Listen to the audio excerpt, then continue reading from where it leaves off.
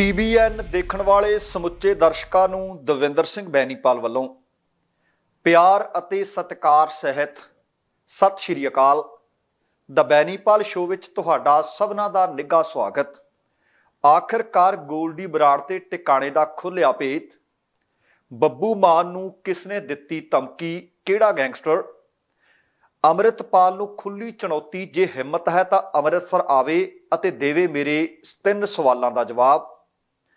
ਪੰਜਾਬ ਵਿੱਚ ਇਹਨਾਂ ਲੋਕਾਂ ਦੇ ਕੱਟ ਦਿੱਤੇ ਜਾਣਗੇ ਨੀਲੇ ਕਾਰਡ ਸਰਕਾਰ ਵੱਲੋਂ ਸਖਤ ਹੁਕਮ ਜਾਰੀ।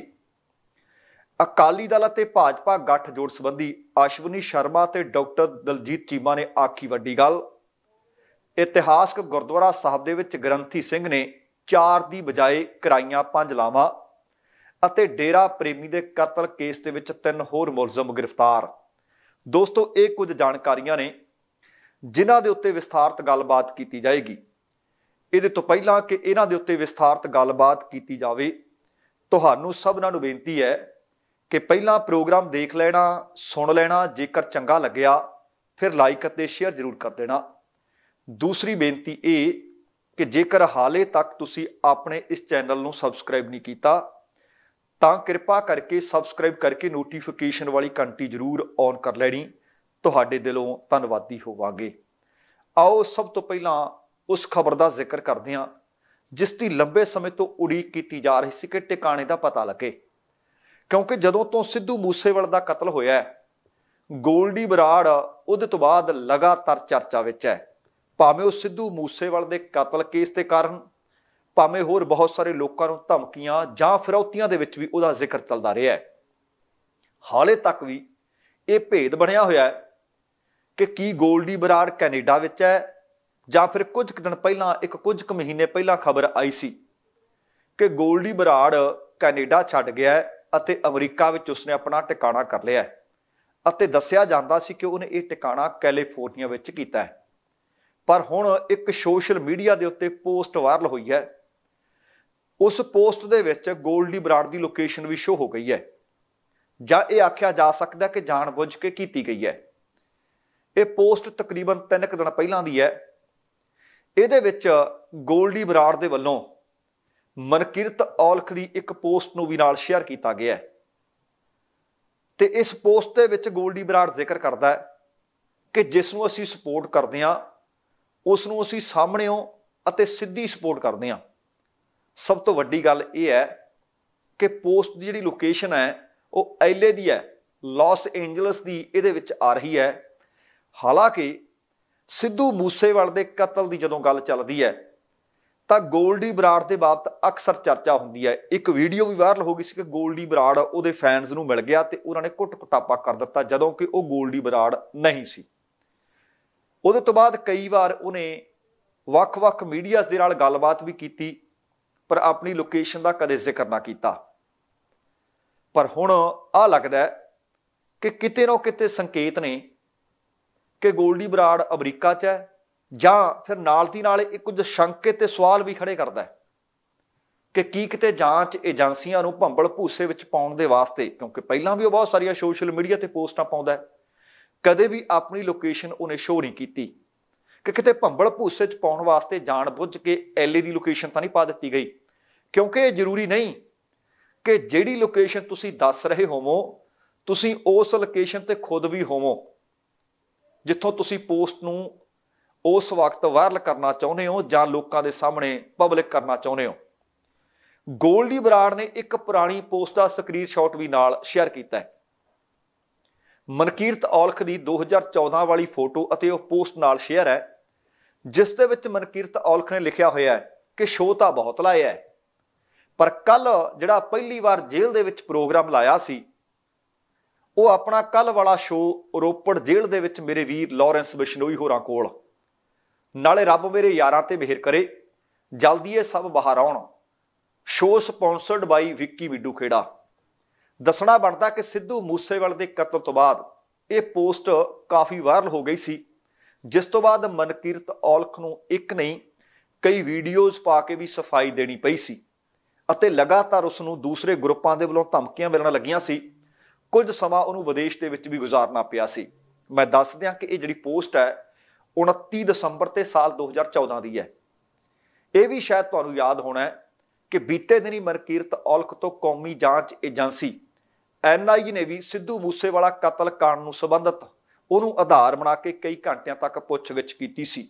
ਇੰਨਾ ਹੀ ਨਹੀਂ, ਮਨਕੀਰਤ ਔਲਖ ਦਾ ਨਾਮ ਲੈ ਤੋਂ ਬਗੈਰ ਸਿੱਧੂ ਮੂਸੇਵਾਲੇ ਦੇ ਪਿਤਾ ਸਰਦਾਰ ਬਲਕੌਰ ਸਿੰਘ ਸਿੱਧੂ ਹੋਰਾਂ ਨੇ ਵੀ ਮਨਕਿਰਤ ਔਲਖ ਤੇ ਨਿਸ਼ਾਨਾ ਵਿੰਨਿਆ ਸੀ ਅਤੇ ਆਖਿਆ ਸੀ ਕਿ ਇਸ ਕਲਾਕਾਰ ਨੂੰ ਗ੍ਰਿਫਤਾਰ ਕਿਉਂ ਨਹੀਂ ਕੀਤਾ ਜਾਂਦਾ, ਜਿਹੜਾ ਇਹਨਾਂ ਗੈਂਗਸਟਰਾਂ ਨੂੰ ਆਪਣਾ ਭਰਾ ਦੱਸਦਾ ਹੈ ਅਤੇ ਜੇਲ੍ਹ ਦੇ ਵਿੱਚ ਉਹਨਾਂ ਵਾਸਤੇ ਪ੍ਰੋਗਰਾਮ ਲਾ ਕੇ ਮਾਣ ਮਹਿਸੂਸ ਕਰਦਾ ਹੈ। ਪਰ ਆ ਗੋਲਡੀ ਬਰਾੜ ਦੀ ਲੋਕੇਸ਼ਨ ਦਾ ਉਹਦੀ ਇੱਕ ਪੋਸਟ ਦੇ ਨਾਲ ਵਾਇਰਲ ਹੋਣਾ ਆਪਣੇ ਆਪ ਦੇ ਵਿੱਚ ਕਈ ਸਵਾਲ ਅਤੇ ਕੀ ਸ਼ੰਕੇ ਜ਼ਰੂਰ ਖੜੇ ਕਰਦਾ ਹੈ। ਤੇ ਹੁਣ ਗੱਲ ਕਰਦੇ ਆਂ ਬੱਬੂ ਮਾਨ ਨੂੰ ਧਮਕੀ ਤਾਂ ਦਿੱਤੀ ਹੈ, ਇਹਦਾ ਤਾਂ ਪਤਾ ਲੱਗ ਗਿਆ। ਧਮਕੀ ਮਿਲੀ ਹੈ, ਪਰ ਧਮਕੀ ਦਿੱਤੀ ਕਿਨੇ ਸੀ। ਇਹ ਬਹੁਤ ਵੱਡਾ ਸਵਾਲ ਸੀ ਤੇ ਕੁਝ ਹੱਦ ਤੱਕ ਇਹ ਗੱਲ ਵੀ ਸਾਹਮਣੇ ਆ ਗਈ ਹੈ। ਇਹ ਕੋਈ ਨਵੀਂ ਗੱਲ ਨਹੀਂ। ਪੰਜਾਬ ਦੇ ਵਿੱਚ ਬਹੁਤ ਸਾਰੇ ਲੋਕਾਂ ਨੂੰ ਧਮਕੀਆਂ ਆਉਂਦੀਆਂ ਨੇ, ਕਈ ਬੋਗਸ ਨਿਕਲਦੀਆਂ ਨੇ। ਫਰੋਤੀ ਦੀਆਂ ਕਾਲਸ ਵੀ ਆਉਂਦੀਆਂ ਨੇ। ਪਰ ਹੁਣ ਇਹਨਾਂ ਹੀ ਨਾਵਾਂ ਦੇ ਵਿੱਚ ਜਿਨ੍ਹਾਂ ਨੂੰ ਧਮਕੀਆਂ ਆਈਆਂ ਨੇ, ਜੁੜ ਗਿਆ ਨਾਮ ਗਾਇਕ, ਗੀਤਕਾਰ ਅਤੇ ਅਦਾਕਾਰ ਬੱਬੂ ਮਾਨ ਦਾ। ਇਹ ਧਮਕੀ, ਇਹ ਪਤਾ ਲੱਗ ਰਿਹਾ ਹੈ ਕਿ ਕਿਸੇ ਅਣਪਛਾਤੇ ਵਿਅਕਤੀ ਦੇ ਵੱਲੋਂ ਦਿੱਤੀ ਗਈ ਤੇ ਇਸ ਸੰਬੰਧੀ ਸੂਚਨਾ ਮਿਲਣ ਤੋਂ ਬਾਅਦ ਪੁਲਿਸ ਕਾਫੀ ਹਰਕਤ ਵਿੱਚ ਦੱਸੀ ਗਈ ਅਤੇ ਬੱਬੂ ਮਾਨ ਦੀ ਸੁਰੱਖਿਆ ਦੇ ਵਿੱਚ ਵਾਧਾ ਕਰਨ ਦੀ ਖਬਰ ਵੀ ਹੈ। ਦੱਸਿਆ ਜਾ ਰਿਹਾ ਹੈ ਕਿ ਇਸ ਫੋਨ ਤੋਂ ਬਾਅਦ ਬੱਬੂ ਮਾਨ ਦੇ ਘਰ ਦੇ ਬਾਹਰ ਵੀ ਵੱਡੀ ਗਿਣਤੀ ਵਿੱਚ ਪੁਲਿਸ ਮੁਲਾਜ਼ਮ ਤਾਇਨਾਤ ਕਰ ਦਿੱਤੇ ਗਏ। ਅਸਲ ਦੇ ਵਿੱਚ ਜਿਹੜੀ ਜਾਣਕਾਰੀ ਮਿਲੀ ਆ, ਉਹਦੇ ਅਨੁਸਾਰ ਕਿ ਬੱਬੂ ਮਾਨ ਨੂੰ ਉਹਦਾ ਕੋਈ ਪ੍ਰਸ਼ੰਸਕ ਬਣ ਕੇ, ਉਹਦਾ ਕੋਈ ਫੈਨ ਬਣ ਕੇ ਉਹਨੂੰ ਨਿਸ਼ਾਨਾ ਬਣਾ ਸਕਦਾ ਹੈ। ਸੁਰੱਖਿਆ ਏਜੰਸੀਆਂ ਨੂੰ ਇਸ ਸੰਬੰਧੀ ਪਹਿਲਾਂ ਵੀ ਕੁਝ ਇਨਪੁਟ ਮਿਲੇ ਸੀ।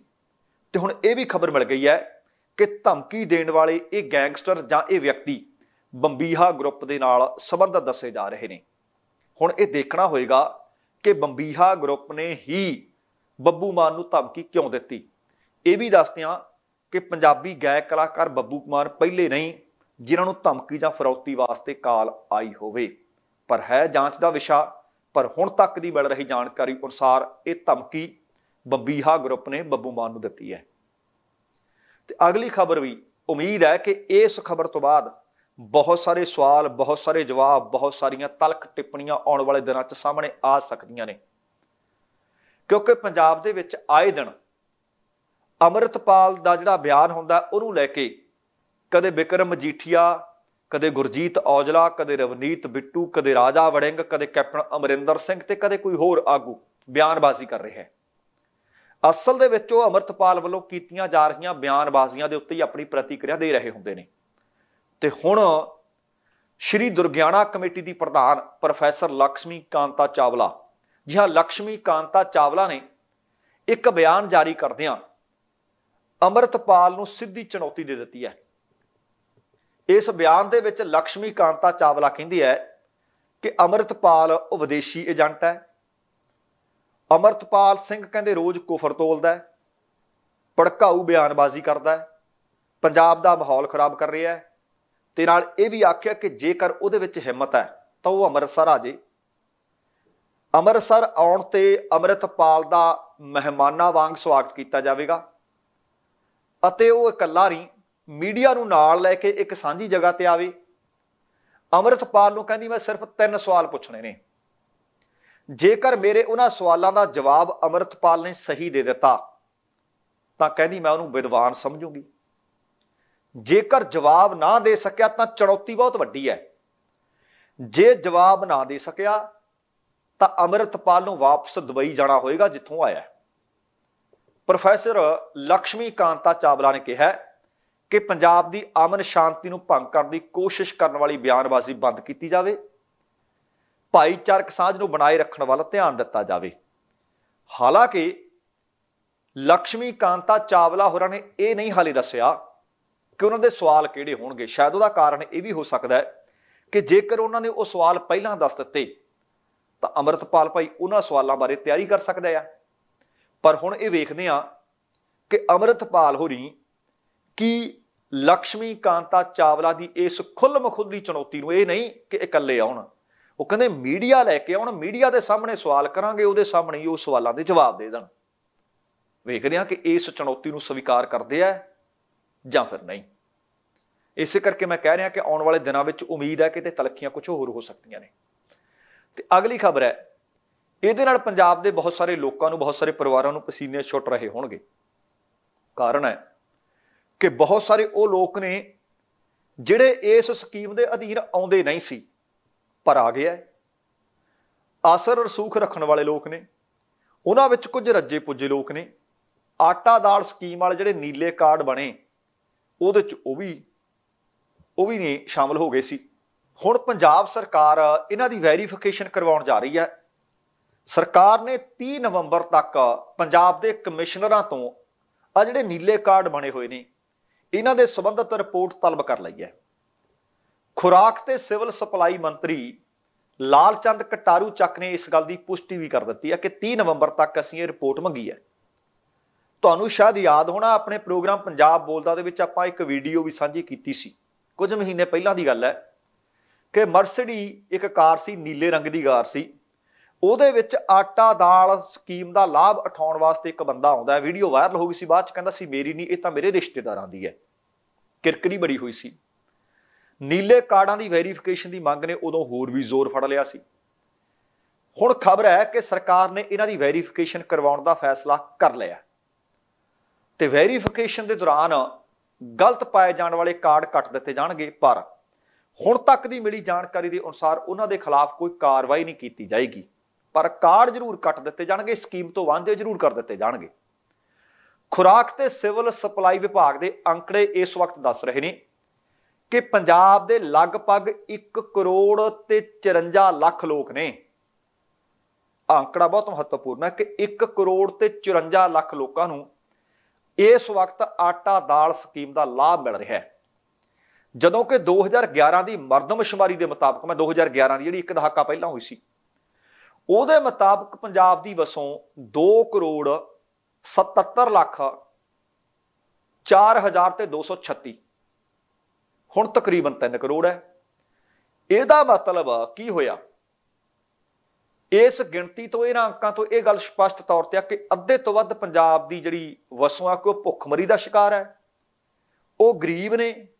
ਇਹ ਆਪਣੇ ਆਪ ਦੇ ਵਿੱਚ ਅੰਕੜੇ ਸੁਣ ਕੇ ਕਿਤੇ ਨਾ ਕਿਤੇ ਅਚੰਭਾ ਜ਼ਰੂਰ ਹੁੰਦਾ ਹੈ। ਇਸੇ ਕਰਕੇ ਲਾਲਚੰਦ ਕਟਾਰੂ ਚੱਕ ਦੇ ਅਨੁਸਾਰ ਕੇਂਦਰ ਸਰਕਾਰ ਦੀ ਸਕੀਮ ਦੇ ਤਹਿਤ 1 ਕਰੋੜ ਤੇ 41 ਲੱਖ ਲੋਕਾਂ ਨੂੰ ਲਾਭ ਮਿਲ ਰਿਹਾ ਸੀ ਪਰ ਪਿਛਲੀ ਕਾਂਗਰਸ ਸਰਕਾਰ ਨੇ ਇੱਕ ਕਾਰਡ ਹੋਰ ਬਣਾਏ ਤੇ ਇਸ ਵਕਤ ਮੌਜੂਦਾ ਸਮੇਂ ਦੇ ਵਿੱਚ ਇਹ ਗਿਣਤੀ 1 ਕਰੋੜ ਤੇ 54 ਲੱਖ ਲੋਕਾਂ ਦੀ ਹੈ, ਜਿਨ੍ਹਾਂ ਨੂੰ ਇਹ ਲਾਭ ਮਿਲ ਰਿਹਾ ਹੈ।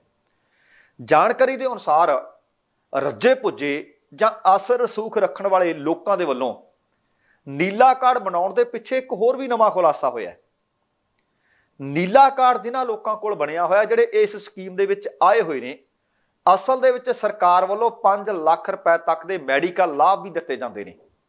ਸਰਕਾਰ ਦੇ ਨੀਲਾ ਕਾਰਡ ਧਾਰਕਾਂ ਦੇ ਪਰਿਵਾਰ ਨੂੰ 5 ਲੱਖ ਰੁਪਏ ਤੱਕ ਪ੍ਰਤੀ ਪਰਿਵਾਰਕ ਮੈਂਬਰ ਮੁਫਤ ਇਲਾਜ ਕਰਨ ਦੀ ਸਹੂਲਤ ਵੀ ਮਿਲੀ ਹੋਈ ਹੈ। ਸ਼ਾਇਦ ਇਸੇ ਕਰਕੇ ਬਹੁਤ ਸਾਰੇ ਲੋਕਾਂ ਨੇ ਇਹ ਨੀਲਾ ਕਾਰਡ ਵੀ ਬਣਾਇਆ ਹੋਇਆ ਕਿਉਂਕਿ ਇਲਾਜ ਭਾਵੇਂ ਪੰਜਾਬ ਹੋਵੇ, ਭਾਵੇਂ ਕੁਝ ਹੋਰ ਕੋਈ ਸੂਬਾ ਹੋਵੇ, ਇਲਾਜ ਬੜਾ ਮਹਿੰਗਾ ਹੈ। ਤੇ ਮੈਂ ਇਹ ਵੀ ਦੱਸ ਦਿਆਂ ਕਿ ਮੁੱਖ ਮੰਤਰੀ ਪ੍ਰਕਾਸ਼ ਸਿੰਘ ਬਾਦਲ ਜਦੋਂ ਹੋਇਆ ਕਰਦੇ ਸੀ, ਉਹਨਾਂ ਨੇ ਪੰਜਾਬ ਦੇ ਵਿੱਚ ਗਰੀਬ ਤੇ ਲੋੜਵੰਦਾਂ ਲਈ 2 ਰੁਪਏ ਕਿਲੋ ਆਟਾ ਤੇ 20 ਰੁਪਏ ਕਿਲੋ ਦਾਲ ਦੇਣ ਦੀ ਇਹ ਸਕੀਮ ਸ਼ੁਰੂ ਕਰ ਦਿੱਤੀ ਸੀ। ਉਹਦੇ ਤੋਂ ਬਾਅਦ ਦੀਆਂ ਸਰਕਾਰਾਂ ਨੇ ਇਸ ਸਕੀਮ ਨੂੰ ਲਾਗੂ ਰੱਖਿਆ, ਪਰ ਕਾਰਡ ਧਾਰਕਾਂ ਦੀ ਗਿਣਤੀ ਦੇ ਵਿੱਚ ਲਗਾਤਾਰ ਵਾਧਾ ਦਰਜ ਕੀਤਾ ਗਿਆ। ਤੇ ਉਹਨੂੰ ਆਪਣੀ ਪ੍ਰਾਪਤੀ ਦੱਸਦੀ ਰਹੀਆਂ ਸਰਕਾਰਾਂ, ਦਰਅਸਲ ਇਹ ਪ੍ਰਾਪਤੀ ਨਹੀਂ ਜੇ ਨੀਲੇ ਕਾਰਡ ਧਾਰਕਾਂ ਦੀ ਗਿਣਤੀ 'ਚ ਵਾਧਾ ਹੁੰਦਾ ਗਿਆ, ਇਹ ਪ੍ਰਾਪਤੀ ਥੋੜਾ ਹੀ ਆ। ਇਹ ਪ੍ਰਾਪਤੀ ਨਹੀਂ। ਪ੍ਰਾਪਤੀ ਤਾਂ ਤਾਂ ਹੁੰਦੀ ਜੇ ਪਹਿਲਾਂ 1 ਕਰੋੜ 40 ਲੱਖ ਸੀ, ਫਿਰ ਕਰੋੜ ਰਹਿ ਗਏ, ਫਿਰ 50 ਲੱਖ ਰਹਿ ਗਏ, ਫਿਰ 25 ਲੱਖ ਰਹਿ ਗਏ। ਭਾਵ ਕਿ ਅਸੀਂ ਲੋਕਾਂ ਨੂੰ ਗਰੀਬੀ ਰੇਖਾ ਤੋਂ ਉੱਪਰ ਚੁੱਕ ਦਿੱਤਾ ਤੇ ਉਹ ਆਪਣੀ ਰੋਟੀ ਆਪ ਕਮਾ ਕੇ ਖਾਣ ਜੋਗੇ ਕਰ ਦਿੱਤੇ। ਸਰਕਾਰਾਂ ਬਦਲ ਤੇ ਨੀਲੇ ਕਾਰਡਾਂ ਦਾ ਰਿਵਿਊ ਵੀ ਹੁੰਦਾ ਰਿਹਾ ਹੈ ਵੈਰੀਫਿਕੇਸ਼ਨ ਵੀ ਹੁੰਦੀ ਰਹੀ ਹੈ। ਪਰ ਹਮੇਸ਼ਾ ਇੱਕ ਦੂਜੀ ਪਾਰਟੀ ਨਾਲ ਸੰਬੰਧਿਤ ਲੋਕਾਂ ਦੇ ਕਾਰਡ ਤੱਕ ਕੱਟੇ ਜਾਂਦੇ ਰਹੇ, ਇਹ ਦੋਸ਼ ਲੱਗਦੇ ਰਹੇ ਹੈ। ਪਰ ਸਾਲ 2017 ਵਿੱਚ ਕੈਪਟਨ ਅਮਰਿੰਦਰ ਸਿੰਘ ਦੀ ਅਗਵਾਈ 'ਚ ਸਰਕਾਰ ਬਣ ਜਾਂਦੀ ਹੈ।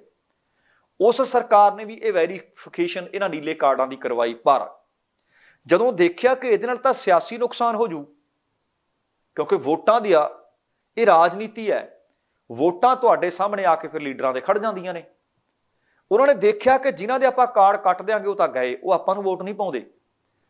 ਸਿਆਸੀ ਨੁਕਸਾਨ ਨੂੰ ਦੇਖਦੇ ਹੋਏ ਕਾਰਡ ਕੱਟਣ ਦੀ ਬਜਾਏ ਕਾਰਡ ਹੋਰ ਬਣਾਤੇ ਕਿ ਜਿਨ੍ਹਾਂ ਨੂੰ ਇਹ ਸਕੀਮ ਅਧੀਨ ਲਿਆਵਾਂਗੇ, ਉਹ ਵੋਟ ਆਪਾਂ ਨੂੰ ਪਾਉਣਗੇ, ਪਰ ਰਾਸ ਫੇਰ ਵੀ ਨਹੀਂ ਆਇਆ। ਰਾਸੀ ਵਿਰੋਧੀ ਪਾਰਟੀਆਂ ਗਲਤ ਢੰਗ ਨਾਲ ਇਹ ਨੀਲੇ ਕਾਰਡ ਬਣਾਉਣ ਦਾ ਮੁੱਦਾ ਵੀ ਚੁੱਕਦੀਆਂ ਰਹੀਆਂ ਨੇ, ਪਰ ਜਦੋਂ ਸੱਤਾ ਤੇ ਕਾਬਜ਼ ਹੁੰਦੀਆਂ ਨੇ, ਕੰਮ ਉਹੀ ਕਰਦੀਆਂ ਨੇ ਉਹ, ਜਿਹੜੀਆਂ ਹੁਣ ਉਹਨਾਂ ਦੇ ਸਵਾਲ ਨੇ। ਕਾਰਡ ਕੱਟਣ ਨੂੰ ਲੈ ਕੇ ਫਿਰ ਪਿੱਛੇ ਵੀ ਹਟਦੀਆਂ ਨੇ। ਤੇ ਜਦੋਂ ਕੋਵਿਡ-19 ਦੀ ਮਹਾਮਾਰੀ ਫੈਲੀ ਉਸ ਦੌਰਾਨ ਵੀ ਪੰਜਾਬ ਦੇ ਵਿੱਚ ਵੱਡੇ ਪੱਧਰ ਤੇ ਆਟਾ ਦਾਲ ਵੰਡਣ ਤੇ ਕਾਰਡ ਬਣਾਉਣ ਦੇ ਕਪੜਿਆਂ ਦੇ ਦੋਸ਼ ਲੱਗੇ ਸੀ। ਤੇ ਹੁਣ ਖੁਰਾਕ ਤੇ ਸਿਵਲ ਸਪਲਾਈ ਵਿਭਾਗ ਦੀਆਂ ਹਦਾਇਤਾਂ ਦੇ ਅਨੁਸਾਰ ਪੜਤਾਲ ਵਿੱਚ ਜਿਹੜੇ ਲੋਕ ਪ੍ਰਭਾਵਿਤ ਹੋਣਗੇ, ਉਹ ਧਿਆਨ ਨਾਲ ਸੁਣ ਲਿਓ, ਕਿਤੇ ਤੁਸੀਂ ਇਹਦੇ ਚ ਨਾ ਆਉਂਦੇ ਹੋਵੋ। ਪ੍ਰਭਾਵਿਤ ਕਿਹੜੇ ਹੋਣਗੇ? ਜਿਨ੍ਹਾਂ ਦੇ ਸਮਾਰਟ ਕਾਰਡ ਆ, ਨੀਲੇ ਕਾਰਡ ਕੱਟੇ ਜਾਣੇ ਨੇ, ਉਹ ਕੌਣ ਨੇ? ਉਹਨਾਂ ਨੂੰ ਕਾਫੀ ਸਖਤ ਪ੍ਰੀਖਿਆ ਦੇ ਵਿੱਚੋਂ ਲੰਘਣ ਦਾ ਸਮਾਂ ਇਹ। ਪੜਤਾਲ ਦੇ ਦੌਰਾਨ ਪਰਫਾਰਮੇ ਦੇ ਵਿੱਚ ਪੁੱਛਿਆ ਜਾ ਰਿਹਾ ਹੈ ਕਿ ਕੀ ਪਰਿਵਾਰ ਦੀ ਸਾਲਾਨਾ ਆਮਦਨ 30000 ਤੋਂ ਘੱਟ ਹੈ 60000 ਤੋਂ ਘੱਟ ਹੈ, ਪਰਿਵਾਰ ਦੇ ਵਿੱਚ ਕੋਈ ਸਰਕਾਰੀ ਨੌਕਰੀ ਕਰਦਾ ਹੈ 2.5 ਏਕੜ ਨਹਿਰੀ ਜਾਂ ਆਮ ਸਿੰਚਾਈ ਵਾਲੀ ਜ਼ਮੀਨ ਹੈ, ਜਾਂ 5 ਏਕੜ ਤੋਂ ਵੱਧ ਵੀਰਾਨੀ ਜ਼ਮੀਨ ਸੰਬੰਧੀ ਰਿਪੋਰਟ, ਕੋਈ ਕਾਰੋਬਾਰ ਜਾਂ ਵਿਆਜ ਆਦ ਤੋਂ ਆਮਦਨ ਆਉਂਦੀ ਹੋਵੇ, ਸ਼ਹਿਰੀ ਖੇਤਰ ਦੇ ਵਿੱਚ 100 ਗਜ਼ ਤੋਂ ਵੱਧ ਮਕਾਨ ਜਾਂ 750 ਸਕੁਅਰ ਫੁੱਟ ਦਾ ਫਲੈਟ ਹੋਣ ਬਾਰੇ ਰਿਪੋਰਟ ਹੈ, ਆਮਦਨ ਕਰਦਾਤਾ ਜਾਂ ਹੋਰ ਕੁਝ ਇੱਕ ਇਹਨਾਂ ਕੋਲੋਂ ਗੱਲਾਂ ਪੁੱਛੀਆਂ ਗਈਆਂ ਨੇ। ਇਹਦੇ ਨਾਲ ਨਾਲ ਇਹ ਵੀ ਇਹਦੇ ਵਿੱਚ ਪੁੱਛਿਆ ਜਾ ਰਿਹਾ ਹੈ ਕਿ ਤੁਹਾਡੇ ਕੋਲ ਕੋਈ ਵੀ 4 ਪਹੀਆ ਵਾਹਨ ਭਾਵ ਕੋਈ ਕਾਰ, ਕੋਈ ਜੀਪ ਹੈ ਤੇ ਕੋਈ ਏਸੀ ਘਰ ਦੇ ਵਿੱਚ ਹੈ, ਇਹ ਸਾਰਾ ਕੁਝ ਇਸ ਪਰਫਾਰਮੇ ਦੇ ਵਿੱਚ ਪੁੱਛਿਆ ਜਾ ਰਿਹਾ ਹੈ। ਹੁਣ ਇਹ ਸ਼ਰਤਾਂ ਨੇ ਜਿਹੜੀਆਂ, ਇਹ ਸਾਹਮਣੇ ਹਾਂ ਜਾਂ ਨਾ ਲਿਖਣ ਤੋਂ ਬਾਅਦ ਜੇਕਰ ਕੋਈ ਵਿਅਕਤੀ ਹਾਂ ਚ ਪਾਇਆ ਜਾਂਦਾ ਹੈ, ਤਾਂ ਕੀ ਹੋਣਾ ਹੈ? ਇਹਦਾ ਅੰਦਾਜ਼ਾ ਲਾਉਣਾ ਮੁਸ਼ਕਲ ਤਾਂ ਨਹੀਂ। ਆ ਜਿਹੜੇ ਸਵਾਲ ਪੁੱਛੇਗਾ ਕਿ ਸਰਕਾਰੀ ਨੌਕਰੀ, ਇਹਦੇ ਤੋਂ ਵੱਧ ਕਮਾਈ ਇੰਨੀ ਜ਼ਮੀਨ, ਘਰ ਵਿੱਚ ਕਾਰ, ਘਰ ਵਿੱਚ ਏਸੀ, ਜੇ ਇਹ ਹਾਂ ਚ ਹੋਏ ਤਾਂ ਸਮਝੋ ਕਾਰਡ ਤੁਹਾਡਾ ਗਿਆ। ਪਰ ਜਿਨ੍ਹਾਂ ਨੇ ਹੁੰਦੇ ਸੋ ਹੁੰਦੇ ਨਾਚ ਕੀਤਾ, ਉਹਨਾਂ ਦੇ ਖਿਲਾਫ ਕਾਰਵਾਈ।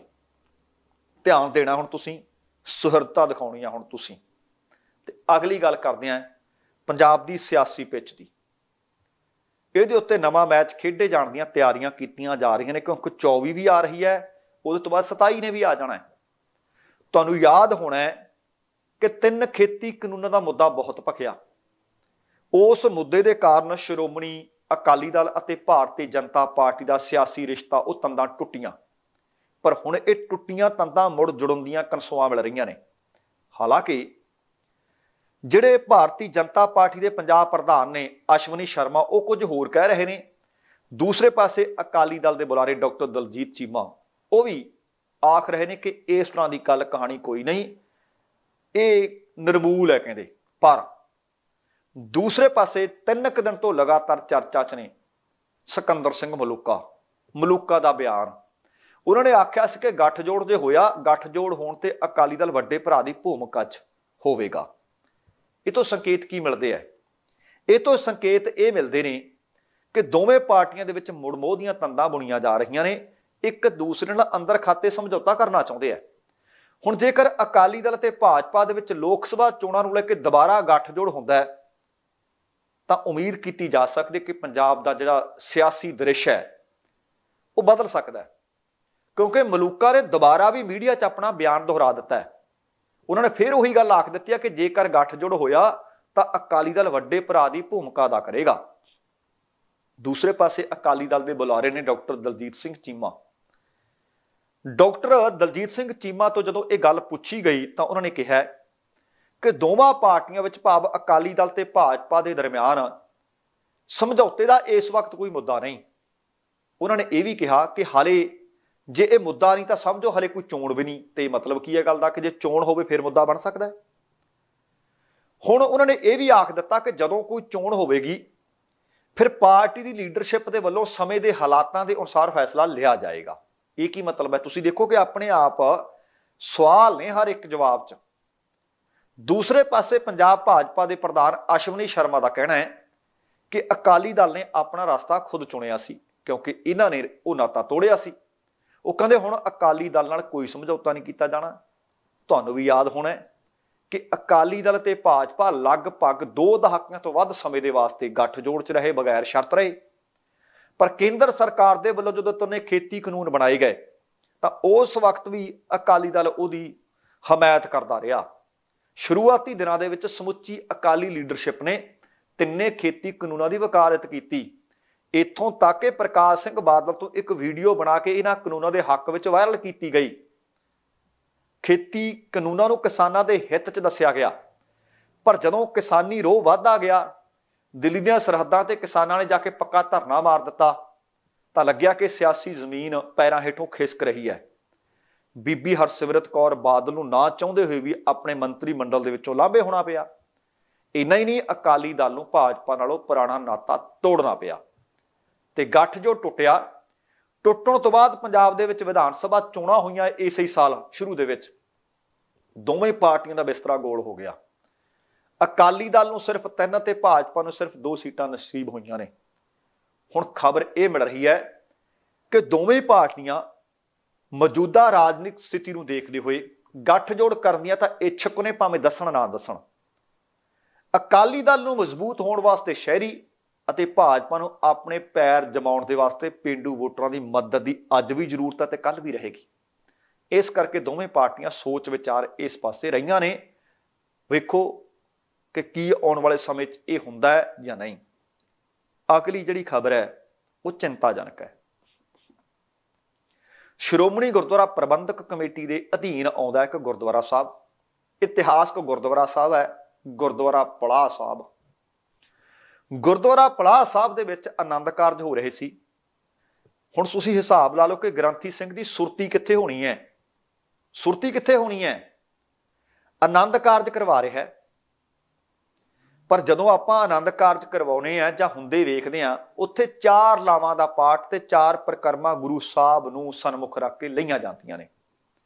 ਇਹ ਗੁਰਮਰਿਆਦਾ ਹੈ ਅਤੇ ਇਹ ਮਰਿਆਦਾ ਸ੍ਰੀ ਗੁਰੂ ਰਾਮਦਾਸ ਸਾਹਿਬ ਨੇ ਚਲਾਈ ਸੀ। ਪਰ ਇਸ ਮਾਮਲੇ ਦੇ ਵਿੱਚ ਬਹੁਤ ਵੱਡਾ ਆ ਜਿਹੜਾ ਮੈਂ ਤੁਹਾਨੂੰ ਹਵਾਲਾ ਦੇ ਕੇ ਜਾਣਕਾਰੀ ਦੇ ਰੂਪ ਵਿੱਚ ਸਾਂਝੀ ਕਰਨੀ ਚਾਹੁੰਦਾ ਖਬਰ, ਇਹ ਆਪਣੇ ਆਪ ਦੇ ਵਿੱਚ ਬਹੁਤ ਹੈਰਾਨੀਜਨਕ ਹੈ। ਜਾਣਕਾਰੀ ਇਹ ਮਿਲੀ ਹੈ ਕਿ ਇਸ ਇਤਿਹਾਸਕ ਗੁਰਦੁਆਰਾ ਪੜਾ ਸਾਹਿਬ ਦੇ ਵਿੱਚ ਬੀਤੇ ਦਿਨੀ ਆਨੰਦ ਕਾਰਜ ਹੋ ਰਿਹਾ ਸੀ। ਦੋਵੇਂ ਪਰਿਵਾਰ ਉੱਥੇ ਪਹੁੰਚੇ ਹੋਏ ਸੀ, ਉਹਨਾਂ ਦੇ ਦੋਸਤ, ਮਿੱਤਰ, ਰਿਸ਼ਤੇਦਾਰ ਪਹੁੰਚੇ ਹੋਏ ਸੀ। ਗ੍ਰੰਥੀ ਸਿੰਘ ਨੇ ਪਹਿਲੀਆਂ ਤਿੰਨ ਲਾਵਾਂ ਦਾ ਪਾਠ ਕੀਤਾ ਤੇ ਰਾਗੀ ਸਿੰਘ, ਜਿਵੇਂ ਬਾਅਦ ਦੇ ਵਿੱਚ ਲਾਵਾਂ ਦੇ ਪਾਠ ਨੂੰ ਸ਼ਬਦੀ ਰੂਪ ਦੇ ਵਿੱਚ, ਕੀਰਤਨ ਦੇ ਰੂਪ ਵਿੱਚ ਗਾਇਨ ਕਰਦੇ ਨੇ, ਕੀਤਾ। ਹੁਣ ਗ੍ਰੰਥੀ ਸਿੰਘ ਭੁੱਲ ਗਿਆ ਕਿ ਹੁਣ ਮੈਂ ਚੌਥੀ ਲਾਮ ਪੜ੍ਹਨੀ ਹੈ ਜਾਂ ਤੀਜੀ ਪੜ੍ਹਨੀ ਸੀ। ਉਹ ਚੌਥੀ ਲਾਮ ਦੀ ਬਜਾਏ ਦੁਬਾਰਾ ਭੁਲੇਖੇ ਨਾਲ ਜਾਂ ਗਲਤੀ ਨਾਲ, ਪਤਾ ਨਹੀਂ ਕਿੱਥੇ ਉਹਦੀ ਸੁਰਤ ਟਿਕੀ ਹੋਣੀ ਹੈ ਤੀਜੀ ਲਾਮ ਦਾ ਪਾਠ ਉਹਨੇ ਫੇਰ ਕਰ ਦਿੱਤਾ। ਤੇ ਰਾਗੀ ਸਿੰਘਾਂ ਨੂੰ ਵੀ ਦੁਬਾਰਾ ਉਸੇ ਤੀਜੀ ਲਾਮ ਦੇ ਪਾਠ ਦਾ ਗਾਇਨ ਕਰਨਾ ਪੈ ਗਿਆ। ਜਾਂ ਤਾਂ ਰਾਗੀ ਸਿੰਘ ਹੀ ਨਾ ਕਰਦੇ। ਹੁਣ ਉਹਨਾਂ ਨੂੰ ਵੀ ਉਹ ਤੀਜੀ ਲਾਂ ਦਾ ਦੁਬਾਰਾ ਪਾਠ ਕਰਨਾ ਪੈ ਗਿਆ ਤੇ ਪ੍ਰਕਰਮਾ ਜੋੜੇ ਨੂੰ ਫਿਰ ਕਰਨੀਆਂ ਪੈ ਗਈਆਂ। ਫਿਰ ਗ੍ਰੰਥੀ ਸਿੰਘ ਨੂੰ ਅਹਿਸਾਸ ਹੋਇਆ, ਉਹਨੇ ਚੌਥੀ ਲਾਮ ਦਾ ਪਾਠ ਕੀਤਾ। ਤੇ ਰਾਗੀ ਸਿੰਘਾਂ ਨੇ ਚੌਥੀ ਲਾਮ ਨੂੰ ਸ਼ਬਦੀ ਰੂਪ ਦੇ ਵਿੱਚ ਫਿਰ ਗਾਇਨ ਕੀਤਾ। ਖਬਰ ਇਹ ਮਿਲ ਰਹੀ ਹੈ ਕਿ ਪਹਿਲਾਂ ਤਾਂ ਪ੍ਰਬੰਧਕਾਂ ਨੇ ਇਸ ਮਾਮਲੇ ਨੂੰ ਦਬਾਉਣ ਦਾ ਯਤਨ ਕੀਤਾ। ਪਰ ਦਬਦਾ ਕਿੱਥੇ ਹੈ? ਚਰਚਾ ਛਿੜ ਗਈ। ਤੇ ਹੁਣ ਇਸ ਮਸਲੇ ਦੀ ਜਾਂਚ ਕੀਤੀ ਜਾ ਰਹੀ ਹੈ। ਵਿਵਾਦ ਛਿੜ ਗਿਆ ਹੈ। ਵਿਵਾਦ ਛਿੜਨ ਤੋਂ ਬਾਅਦ ਸ਼੍ਰੀ ਹਰਮੰਦਰ ਸਾਹਿਬ ਦੇ ਮੈਨੇਜਰ ਨੇ ਜਿਹੜੇ, ਉਹਨਾਂ ਨੂੰ ਪੁੱਛਿਆ ਗਿਆ ਕਿ ਆ ਮਸਲਾ ਸਾਹਮਣੇ ਆਇਆ ਹੈ, ਦੱਸੋ ਕੀ ਕਰੋਗੇ? ਉਹ ਕਹਿੰਦੇ, ਇਸ ਮਸਲੇ ਦੀ ਉਸ ਗ੍ਰੰਥੀ ਸਿੰਘ ਦੀ ਜਾਂਚ ਕੀਤੀ ਜਾ ਰਹੀ ਹੈ, ਪੜਤਾਲ ਕੀਤੀ ਜਾ ਰਹੀ ਹੈ। ਇਹਦੇ ਤੋਂ ਬਾਅਦ ਜਿਹੜਾ ਵੀ ਜ਼ਿੰਮੇਵਾਰ ਹੋਊਗਾ, ਉਹਦੇ ਖਿਲਾਫ ਬਣਦੀ ਕਾਰਵਾਈ ਕਰ ਦਿੱਤੀ ਜਾਊਗੀ। ਵੈਸੇ ਤਾਂ ਗੱਲ ਸਾਫ਼ ਜੀ ਹੋਆ ਕਿ ਜਿਹੜਾ ਪਾਠ ਕਰ ਰਿਹਾ ਸੀ ਜ਼ਿੰਮੇਵਾਰ ਤਾਂ ਉਹੀ ਹੈ। ਪਰ ਫਿਰ ਵੀ ਕੋਈ ਗੱਲ ਨਹੀਂ, ਕਰ ਲਓ ਜਾਂਚ ਪੜਤਾਲ, ਭਾਈ ਵੇਖਦੇ ਆ ਕਿ ਇਹਦੇ ਤੇ ਕਾਰਵਾਈ ਕੀ ਹੋਏਗੀ। ਪਰ ਇੱਥੋਂ ਪਤਾ ਲੱਗਦਾ ਕਿ ਸਾਡੀ ਸੁਰਤ ਕਿੱਥੇ ਹੈ, ਅਸੀਂ ਬੈਠੇ ਕਿੱਥੇ, ਉਹਨੇ ਫਿਜ਼ੀਕਲੀ ਕਿਤੇ ਆ ਤੇ ਮੈਂਟਲੀ ਕਿਤੇ ਆ ਹੁਣ ਉਹ ਆਪਣਾ ਪੱਖ ਵੀ ਰੱਖੂ ਗ੍ਰੰਥੀ ਸਿੰਘ, ਕਿ ਕਾਰਨ ਕੀ ਰਹੀ ਸੀ। ਵੇਖਦੇ ਆ ਕਿ ਆਉਣ ਵਾਲੇ ਸਮੇਂ 'ਚ ਕੀ ਅਪਡੇਟ ਮਿਲਦੀ ਹੈ। ਤੇ ਅਗਲੀ ਖਬਰ ਹੈ, ਡੇਰਾ ਪ੍ਰੇਮੀ ਦੇ ਕਤਲ ਕਾਂਡ ਦੇ ਨਾਲ ਜੁੜੀ ਹੋਈ। ਤੁਹਾਨੂੰ ਯਾਦ ਹੋਣਾ ਹੈ ਕਿ ਬੀਤੇ ਦਿਨੀ ਕੋਟ ਕਪੂਰਾ ਦੇ ਵਿੱਚ ਡੇਰਾ ਪ੍ਰੇਮੀ ਪ੍ਰਦੀਪ ਦਾ ਕਤਲ ਹੋ ਗਿਆ ਸੀ। ਹੁਣ ਪ੍ਰਦੀਪ ਦੇ ਕਤਲ ਕੇਸ ਦੇ ਵਿੱਚ ਜਾਣਕਾਰੀ ਅਨੁਸਾਰ ਤਿੰਨ ਹੋਰ ਮੁਲਜ਼ਮ ਗ੍ਰਿਫਤਾਰ ਕਰ ਲਏ ਗਏ ਨੇ। ਇਹਦੀ ਜਾਣਕਾਰੀ ਖੁਦ ਪੰਜਾਬ ਦੇ ਪੁਲਿਸ ਮੁਖੀ ਗੌਰਵ ਯਾਦਵ ਹੋਰਾਂ ਨੇ ਇੱਕ ਟਵੀਟ ਦੇ ਰਾਹੀਂ ਦਿੱਤੀ ਹੈ। ਉਹਨਾਂ ਲਿਖਿਆ ਕਿ ਜਲੰਧਰ, ਹੁਸ਼ਿਆਰਪੁਰ ਅਤੇ ਫਰੀਦਕੋਟ ਦੀ ਪੁਲਿਸ ਦੇ ਵੱਲੋਂ ਇੱਕ ਸਾਂਝਾ ਆਪਰੇਸ਼ਨ ਕੀਤਾ ਗਿਆ। ਇਸ ਸਾਂਝੇ ਆਪਰੇਸ਼ਨ ਦੇ ਤਹਿਤ ਦੋ ਸ਼ੂਟਰ ਹੁਸ਼ਿਆਰਪੁਰ ਤੋਂ ਗ੍ਰਿਫਤਾਰ ਕੀਤੇ ਗਏ ਹੈ ਅਤੇ ਉਹਨਾਂ ਨੇ ਇਹ ਵੀ ਟਵੀਟ ਦੇ ਵਿੱਚ ਜ਼ਿਕਰ ਕੀਤਾ ਕਿ ਇਹ ਦੋਵੇਂ ਹੀ ਬੱਸ ਫੜਨ ਦੀ ਉਡੀਕ ਕਰ ਰਹੇ ਸੀ ਅਤੇ ਉੱਥੋਂ ਇਹਨਾਂ ਨੇ ਹਿਮਾਚਲ ਭੱਜ ਜਾਣਾ ਸੀ।